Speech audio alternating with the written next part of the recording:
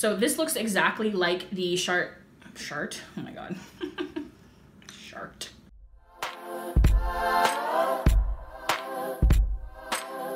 Hello everybody and welcome back to my channel. Today's video is going to be a full face of first impressions using both drugstore and high-end makeup. I'm really, really excited about all of the products that I have to show you guys today, so I'm not gonna waste too much time with this intro. But I did wanna say, if you are new to my channel, welcome. Make sure you hit that subscribe button before you leave.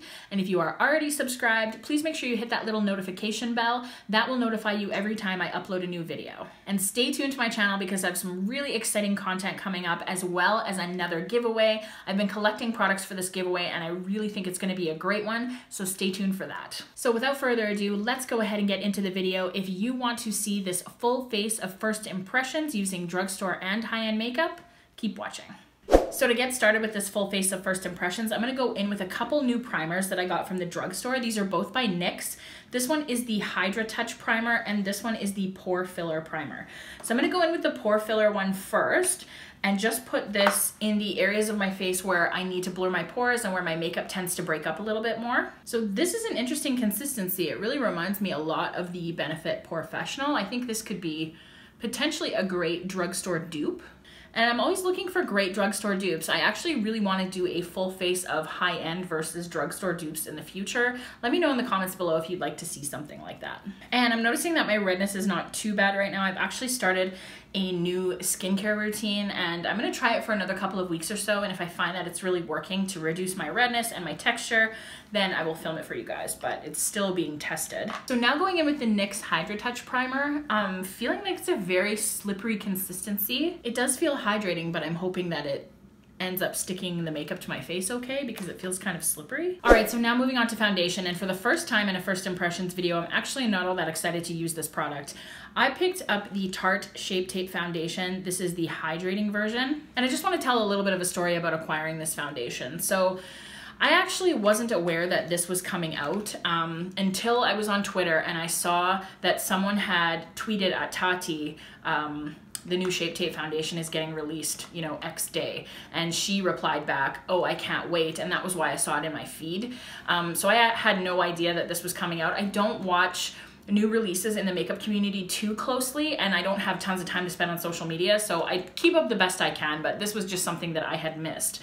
Um, turns out that it was releasing the very next day so I thought you know great like Shape Tape concealer is such a huge product so I figured that Shape Tape Foundation would be great for me to try on my channel. So I set a reminder in my calendar for the next morning to pick it up. And when I went to go buy it, I was originally going to buy the matte foundation. And again, keep in mind, I hadn't seen really anything on social media about the Shape Tape foundation up until this point. So I went online intending to buy the matte foundation because even though I have super duper dry skin, I don't really like wet dewy looking foundations. I like to look matte. So what I have to do is try to find like hydrating matte foundation. So I was gonna get the matte foundation because I figured the hydrating one would be far too shiny on me. And I didn't know what shade to get. And I always have this problem when I'm trying to buy foundations online. I am not somebody who gets a ton of PR. I am not somebody who just has like shit tons of money just to waste on makeup. So I can't buy three foundations of the same type in three different shades and hope that one of them will match me because that's just a huge waste of money. I don't self tan. I don't have any need for darker or lighter foundations.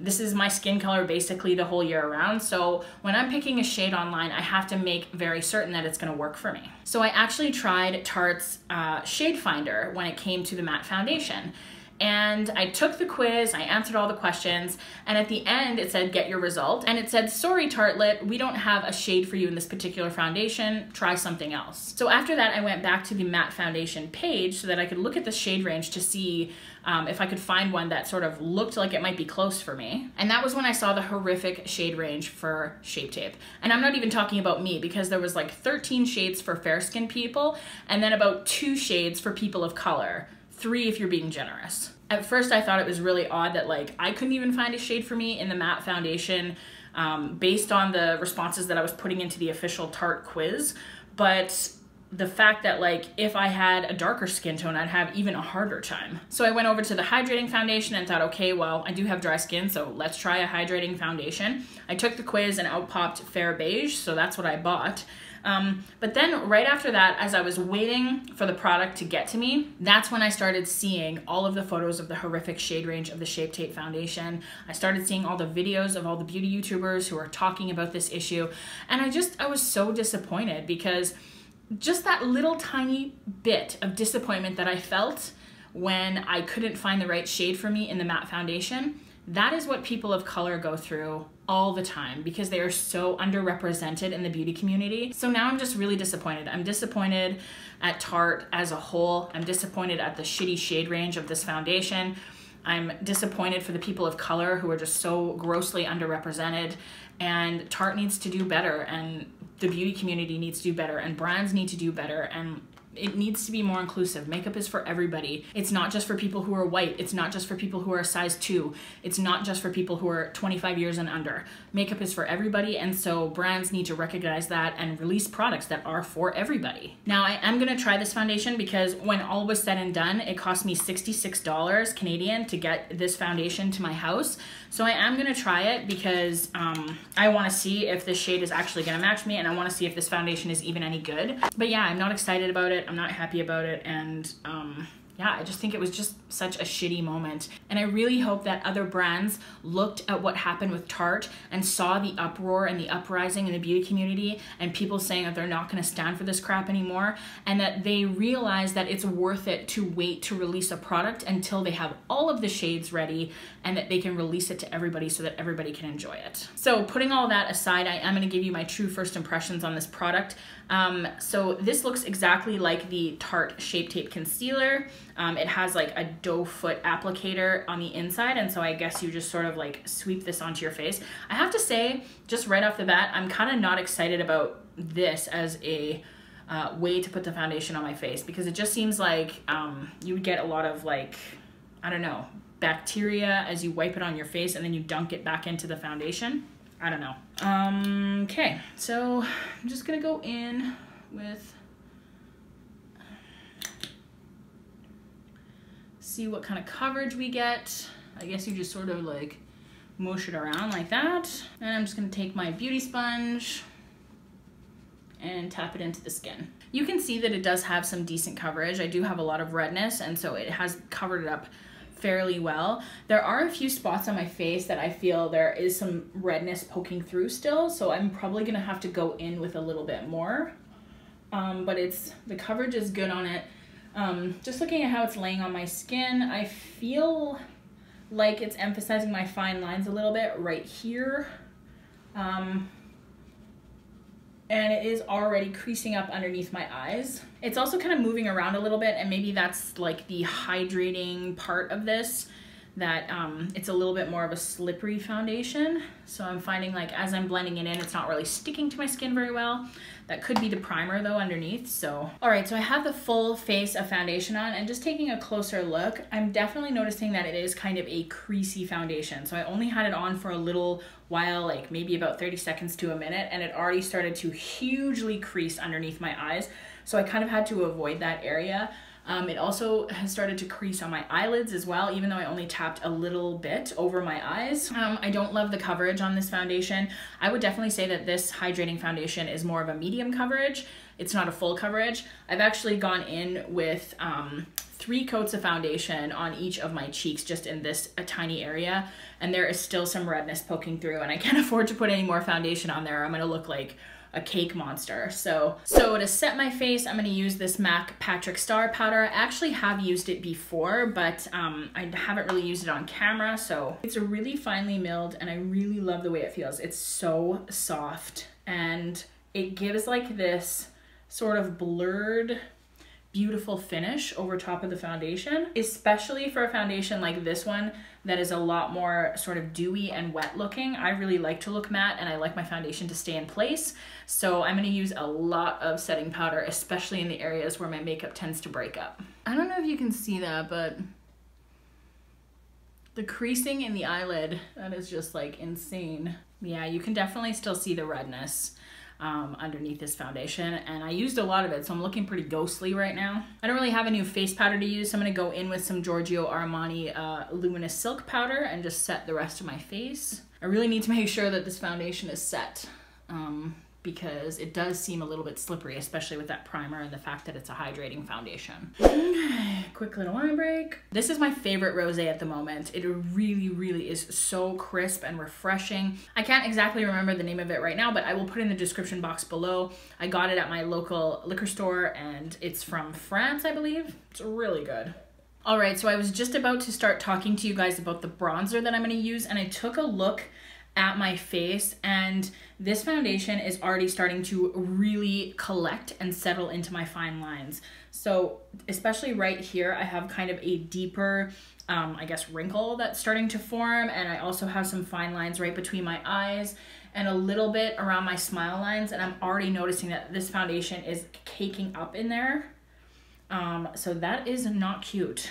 And it also like keeps collecting underneath uh, my eyes and the fine lines underneath my eyes, even though I put a ton of setting powder in there. So, all right, so for bronzer, I'm actually gonna go into this PUR Bronze and Brighten palette. I got this in my BoxyCharm box for the month of January and I actually really like the look of it. Normally, I don't love the palettes that come in the BoxyCharm boxes, especially if they're not well-known brands, because usually they tend to be, I don't know, just a, a little bit cheap or like not as good as the makeup that I already have in my collection, but I really like the look of this one. The bronzer is a little on the glittery side when I'm looking at it in the pan, so I'm not sure if I'm gonna love it, but this blush is a really pretty color, and then the highlight in the middle, that gorgeous champagne color, I think is really pretty. So I'm gonna try all three of these products on my face today. All right, so first going into the bronzer, I'm just gonna use a little tiny bit on my Tom Ford bronzer brush.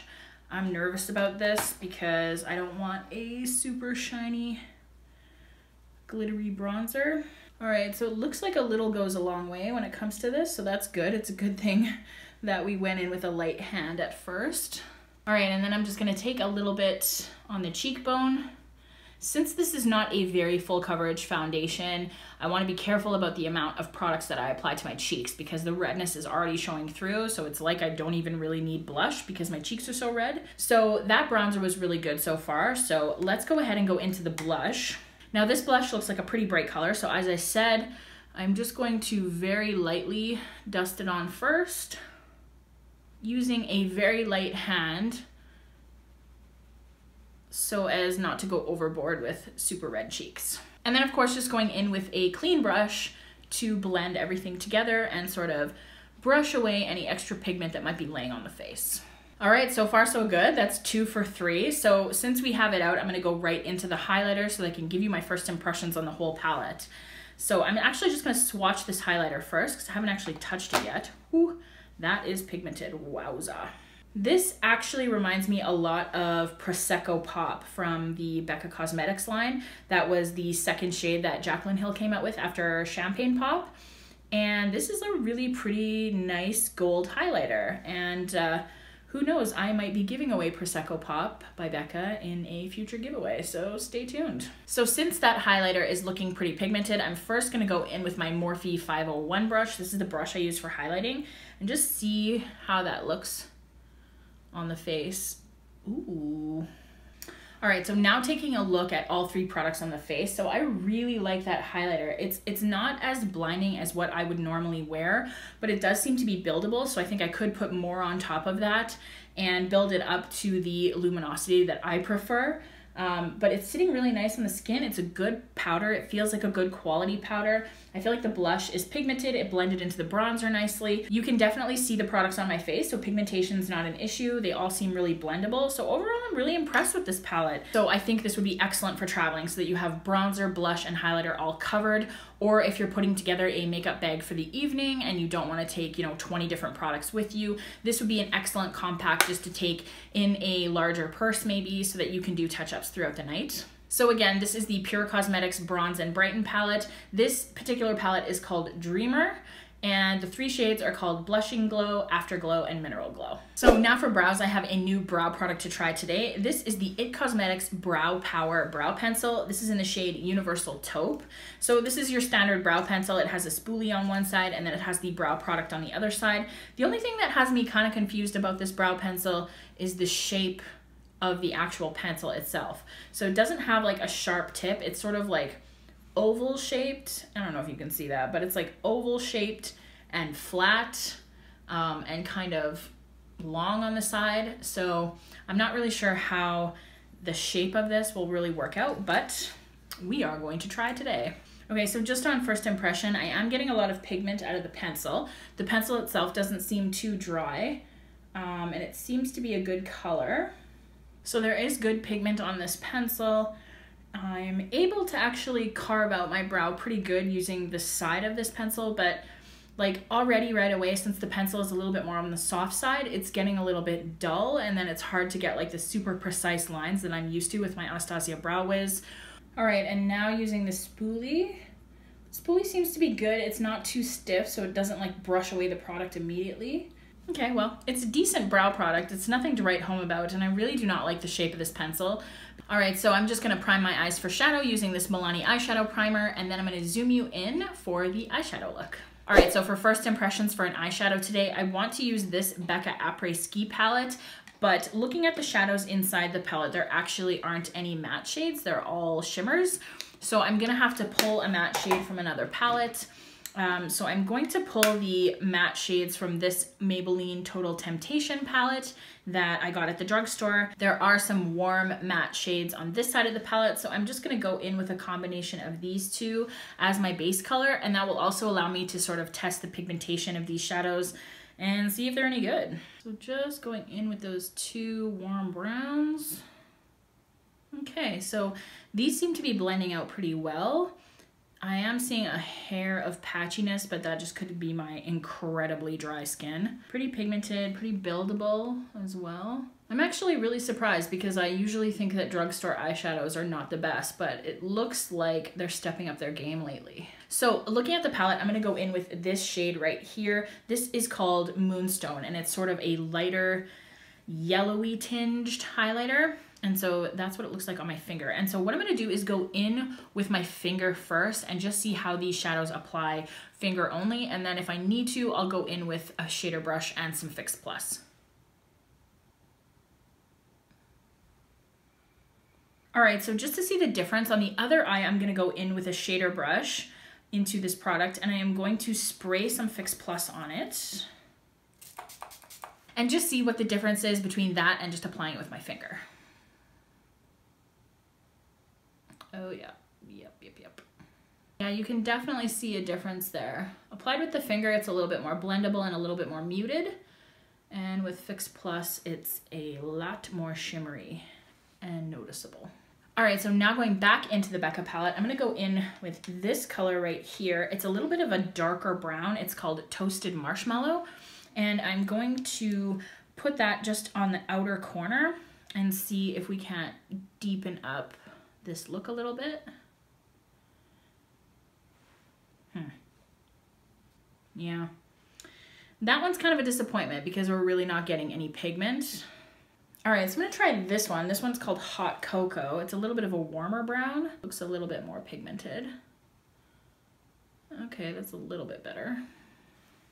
Yeah, all right. So I think these two darker shades here were a little bit of a miss for me. I wasn't getting much pigmentation off of them. So because of that, I'm actually starting to think that this palette is maybe a little bit useless because the remaining shades in here are all Becca highlighter shades that you can actually buy. And I use my Becca highlighters as shadows all the time. So because I have most of the shades in this palette already as highlighters, I'm not sure that I would really need this palette in my collection, especially because the darker shades are not super pigmented or not as pigmented as what I would like. It is a really beautiful palette. Like I really love the packaging and it's nice to have in my collection, but I don't know that I'm gonna be reaching for this very often.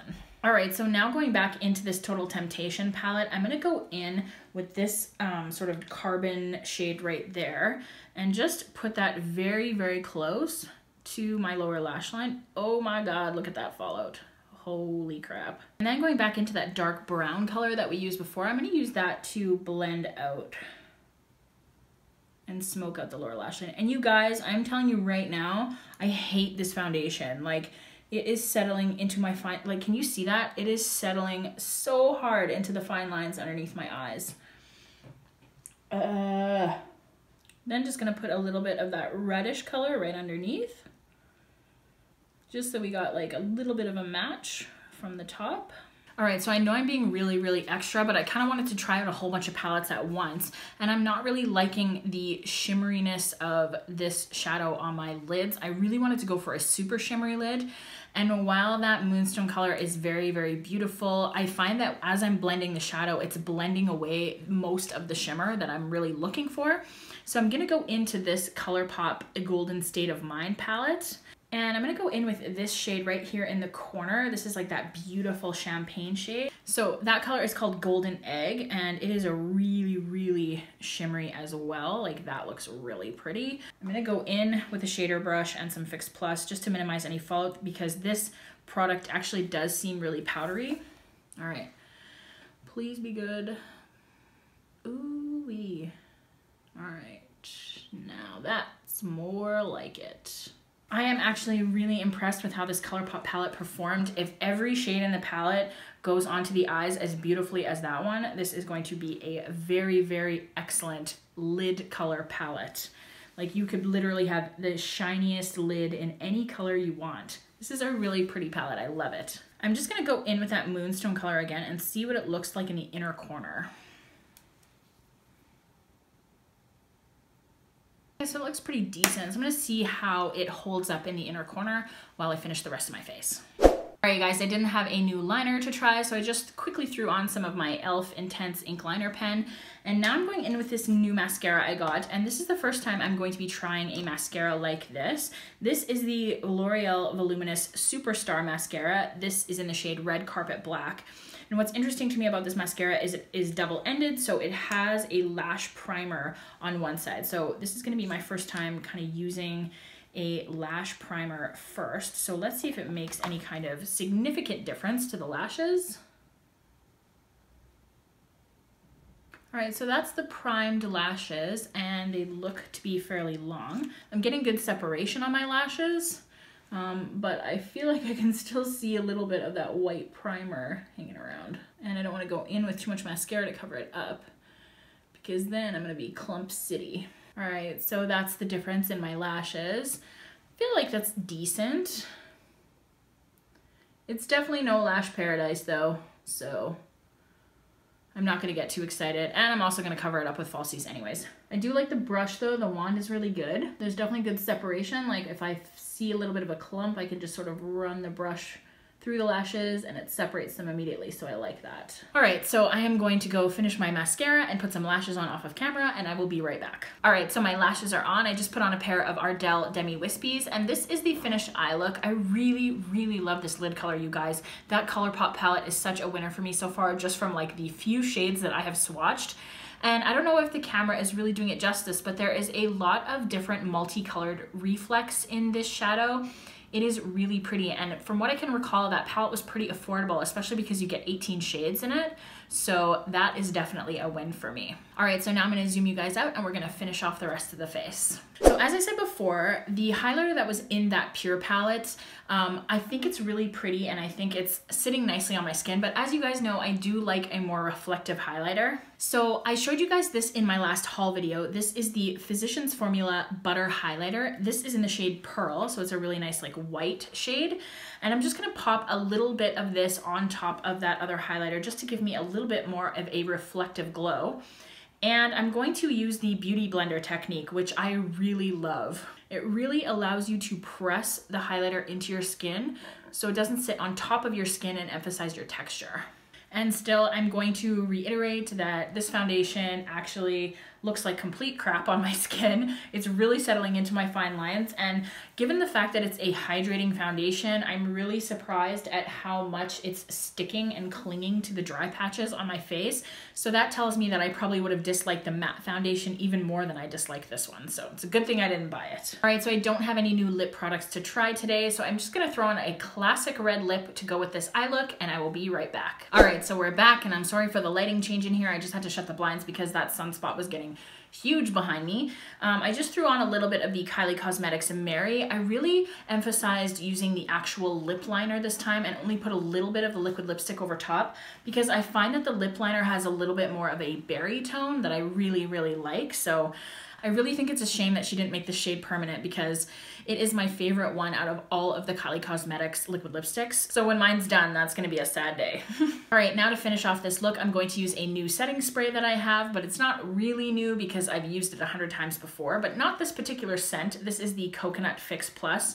And as I said in my previous videos, I really love using Fix Plus as a setting spray, not only because it has glycerin in it, which really sticks the makeup down to your face, but also that Fix Plus is 90% water, so it adds an extra burst of hydration to my face. And I really need it right now because I am so dry.